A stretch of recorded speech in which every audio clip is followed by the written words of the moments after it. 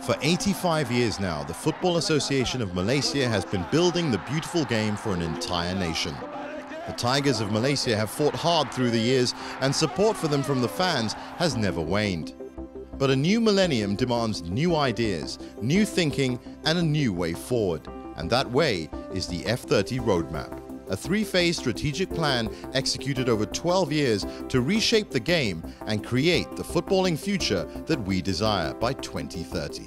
If we look 12 years back, football was very different. The rules of the game was different, technology was different, sports science was different, coaching was different, licensing was different, the style of play was different, qualification World Cup formats were different. It's not a fantasy, but it's reality. I've seen the details of it and which is good. We have put it into document. I think it's hard enough to challenge, but realistic enough to achieve.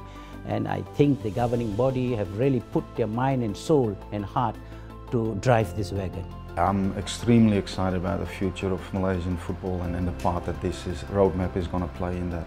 The F30 roadmap is built on the idea of restructuring and fixing the fundamentals that underpin the Malaysian game and is built on three key pillars.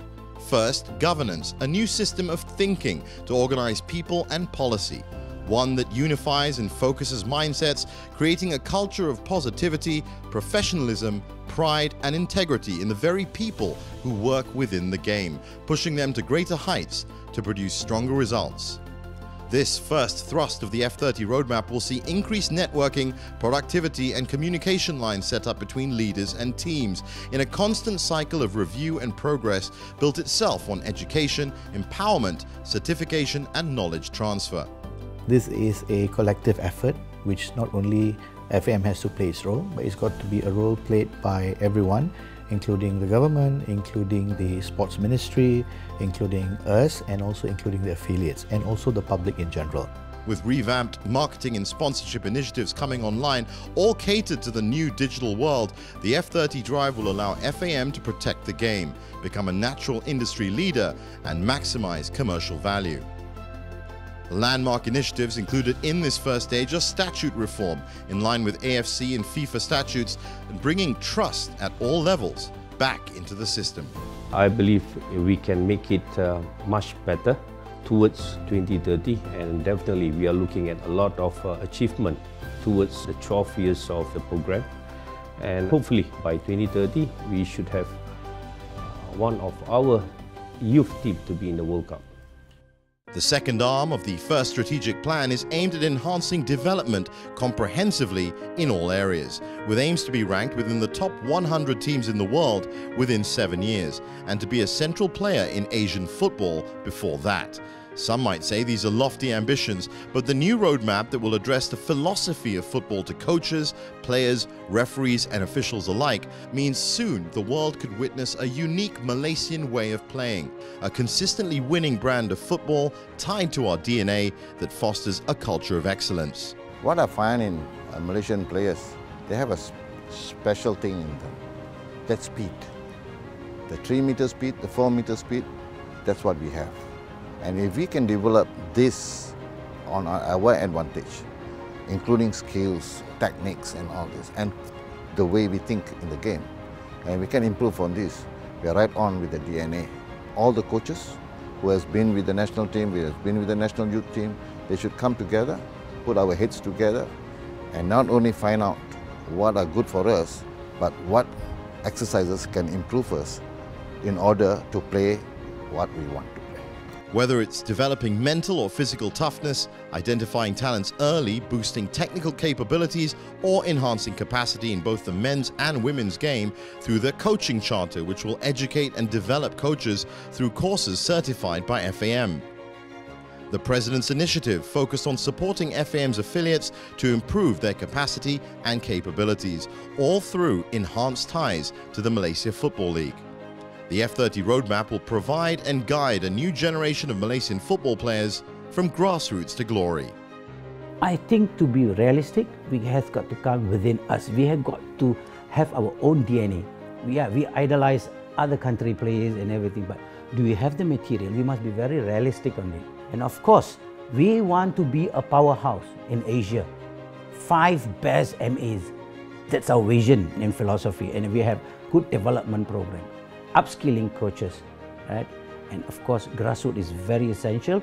The Grassroots Charter itself will unlock the world of football for our Malaysian youngsters and increase their participation in the game through programs, the FAM Grassroots Award and Ambassador, fostering lifelong links to the game for all who take part. A pro referee program is also in place, which aims to create world class referees from Malaysia from 2019 onwards. We focused on making sure both hand of development and hand of competitions speak to each other. Training without competitions is worth nothing and competitions without proper training is worth nothing as well. We ensure that these two key pillars of development and competition speak to each other. The pathway of a child uh, being born and, and having the passion of the game is now protected with a pathway of competitions and development through our grassroots charters, our coaching charters, and our competitions now that fall back to ages of 12, 14, 17 and moving upwards to where we already are. We are trying to now expand that growth of competitions to protect the development of the child. The third pillar is set to create a new playing field to test this new thinking, skills, and techniques being nurtured in the cauldron of competition itself, offering for the first time a balanced and focused approach to not just the men's game, but also in the women's and futsal. From under 12 to under 20 level, Malaysian youth players will now have cups, carnivals, revamped leagues, and special events, both local and international, from which they can show their new fighting spirit and playing style. FAM plans to revive the First Touch program. We believe that it's about the grassroots development where the non-elite children is about focusing and, and start planting seeds around at different places that we go and we hope to see that it's not just the elite players that will have more of the focus but it's about the development. With reintroduced events such as the Pesta Bola Merdeka and brand new competitions planned such as the InterVarsity League, the football calendar in Malaysia will be boosted with a touch of the old and new, while the fans will be treated to a brand new view. And also within that future, the Pro Futsal League aimed for a 2019 launch, boasting a prize of AFC Championship participation, creating a clear and competitive pathway for any team playing in the States League, National LFK, or FAM competitions. It's a very good start-off point where people will know what they are really going to do for the future of football. FAM, congratulations once again. This is what we need. At least we can know now where do we fail. If we fail, where do we succeed and how do we improve and we do have to succeed more in future. So the roadmap is of course the best thing that has ever happened uh, recently. FAM always have traditionally, historically, always have that special place in Malaysian society.